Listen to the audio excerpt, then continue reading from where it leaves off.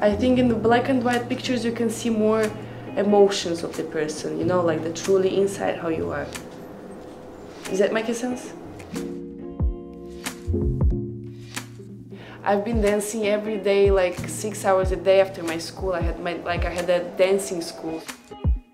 I was that kind of child that I didn't really spend time for a walk with my friends or something. Like I've been all in dance. True happiness is be happy with yourself and love the things you do. And when you love the things you do, you're the best and happiest person in the world. And you know what? Nothing bad can come near you, you know? My mom comes. She's like, Jan, you're going to Italy. You're going to Milan. I'm like, why? Like, you're gonna be a model. I'm like, what? It's like, yes, you remember this woman, I called her in the Skype and we've talked. So literally my mom made everything works for me that way. My mom was a model before me, before she got pregnant me. So she was like always had a dream like that her daughter gonna be model and you see what what that's one more time the things what you're dreaming comes true.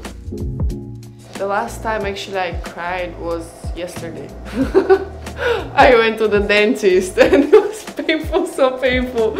And I, yeah, I'm really scared of them. In 20 years I would be like 43. Oh, I see myself living in Brazil in the beautiful house near the beach with a lot of chats and drinking my coconut water and being the happy person, you know, and have a lot of friends near me and we play some music and we dance and I'm still working at the model. Definitely beautiful, gorgeous as my